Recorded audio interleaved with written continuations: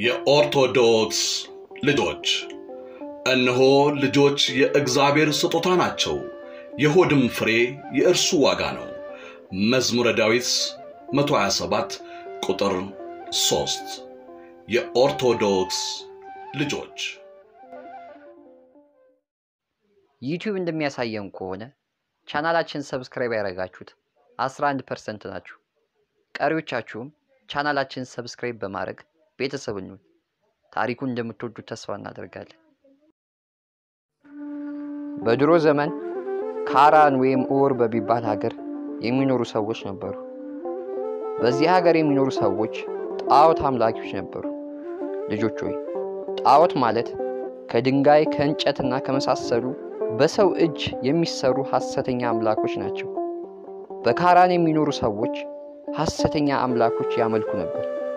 እንጨት ጠርበው ጆሮ፣ አፍንጫ፣ እጅ፣ እግር ቀርጸውለት ቀለም ቀብተውት ራሳቸው የሰሩትን ነገር አምላክ ነው ብሎ ያመልኩት ነበር።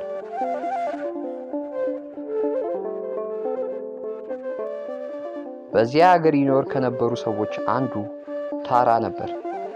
ጣዖት እየሰራ በመሸጥ ይኖር ነበር። ታራ አብርሃም፣ ናኮርና አራን የሚባሉ ልጆች ነበሩት። እነዚህን ልጆቹን ሁሉ በቤታቸው ጣዖትን እንዲያመላልሱ እንዲሰሩ ያደርጋቸው ነበር። ወስዶም በገበያ እንዲሸጡ ያደርጋቸው ነበር። ከዕለታት በአንድ ቀን ከታራ ልጆች አንድ የሆነው አብርሃም አባቱ ታራንን እንዲህ አለው፣ አባቴ ከጣዖቶቹ የምናገኛቸው ጥቅም ምንድን ነው? አለው። ታራንም እንዲህ አለው፣ የዚህ ሀገር ሰዎች ጣዖትን ካልሰራንና ካላመለክን ይገሉናል፣ ያጠፉናል ብዬ ነው አለው።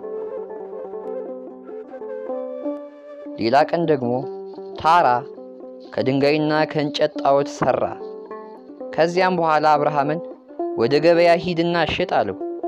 በዚያም ጊዜ ተሸክሞ ወደ ገበያ መጓዝ ጀመረ። በመንገድ እየሄደ ሳለ አፍ እያለው የማይናገር እጅ እያለው የማይዳስስ እግር እያለው የማይሄድ ይህ እኔ የተሸከምኩት አምላክ ምን አይነት ነው አለ። ራሱንም ጠየቀ። ጣዖቱም ምንም መልስ አልሰጠውም፣ ዝም አለው። አብርሃምም ወደ ገበያ ደረሰ። ጣዖቶቹንም ደርድሮ አፍ እያላቸው የማይናገሩ እጅ እያላቸው የማይዳስሱ እግር እያላቸው የማይሄዱትን እነዚህን ጣዖቶች ግዙ እያለ መጮ ጀመረ። በዚያም የሚያልፉት ጣዖት ገዢዎች እርሱ እየሰደባቸውማ እኛ ከእሱ አንገዛም እያሉ ማለፍ ጀመሩ። በዚያም ምክንያት ገዢ አቶ ይዟቸው ተመለሰ።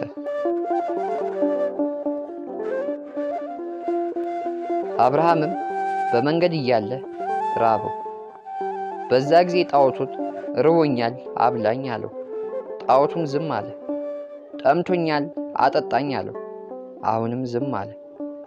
ደክሞኛል አጫውተኝ አለው። ጣዖቱም ዝም አለ። አብርሃምም ተቆጣ። ይሄ አምላኬ አይደለም እንጨት ነው አለ። ይህ ፍጡር ነው እንጂ ፈጣሪ አይደለም። ከተሸከመበትም አውርዶ በድንጋይ ቀጥቅጦ ጣለው።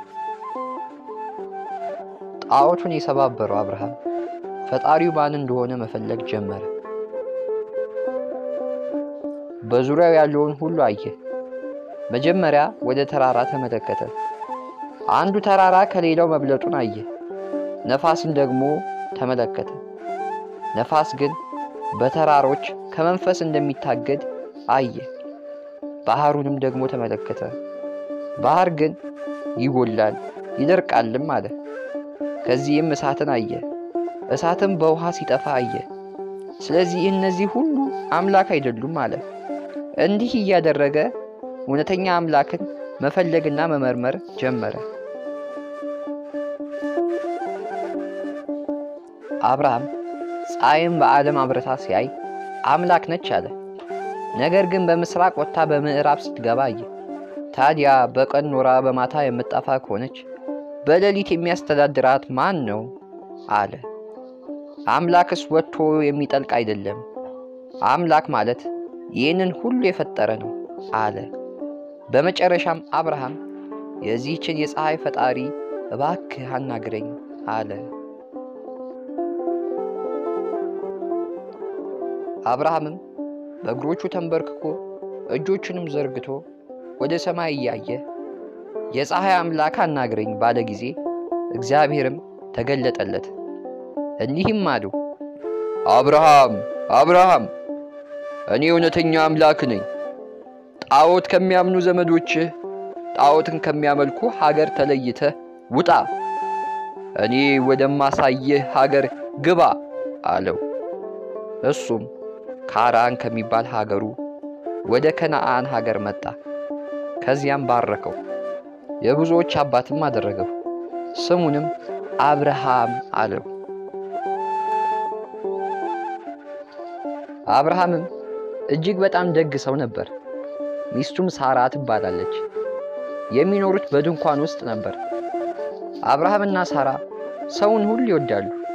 በዚያም ምክንያት በመንገድ የሚያልፈውን ስደተኛ፣ ችግረኛ ሁሉ ገብቶ እንዲበላ፣ እንዲጠጣ፣ ከደከመውም እንዲያርፍ ያደርጋሉ። እንግዳ በቤታቸው ካልመጣ እነርሱ ብቻቸውን መብላትና መጠጣት አይወዱም ነበር። በዚህም ምክንያት እግዚአብሔር ይወዳቸው ነበር።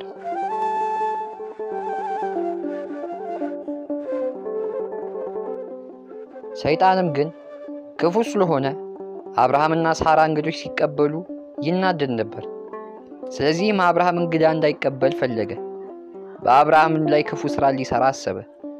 ወደ አብርሃም ድንኳን ለሚመጡት እንግዶች ሐሰትን በመናገር አብርሃምን እንዲጠሉት ለማድረግ አቀደ። ሰይጣንም በአብርሃም የተደበደበ የተፈነከተ መስሎ በጎዳና ላይ ተቀመጠ። ይህም ጎዳና ሰዎች ወደ አብርሃም ቤት የሚሄዱበት ጎዳና ነበር። ለሰዎችም ወደ አብርሃም ዘንድ በእንግድነት ሄጄ እንዲህ አደረገኝ፣ እንዲህ ጎዳኝ ብሏቸው ይናገር ነበር።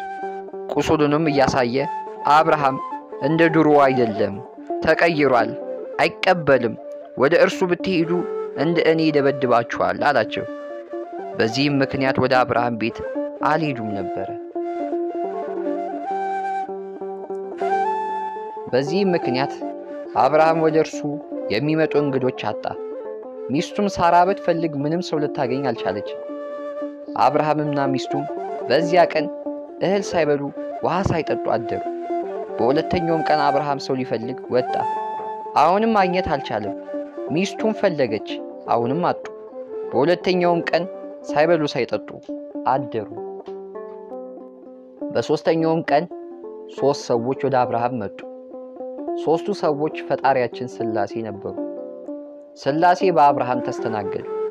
ሥላሴም አብርሃምን እንግዳ በመጣልህ ጊዜ ደስ ብሎ ተቀበል፣ ባልመጣልህ ጊዜ ግን እራትህን በጊዜ በልተህ እደር እንጂ ጦምህን አትደር አሉት። ስለ መልካምነቱ ግን ልጅንም ሰጡት። ስሙንም ይስሐቅ ትለዋለህ አሉት። በዚህም ምክንያት የሰይጣንም ተንኮል ከሸፈ፣ ሰይጣን ተሸነፈ። ልጆች ሆይ ከዚህ ታሪክ እንደምንማረው እንግዳ ምን ያህል ትልቅ በረከት ይዞ እንደሚመጣ ነው።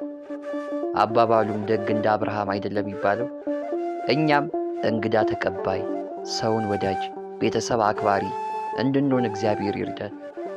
በቀጣይ ቪዲዮ እስክንገናኝ ድረስ ቸር ቆዩ ልጆች።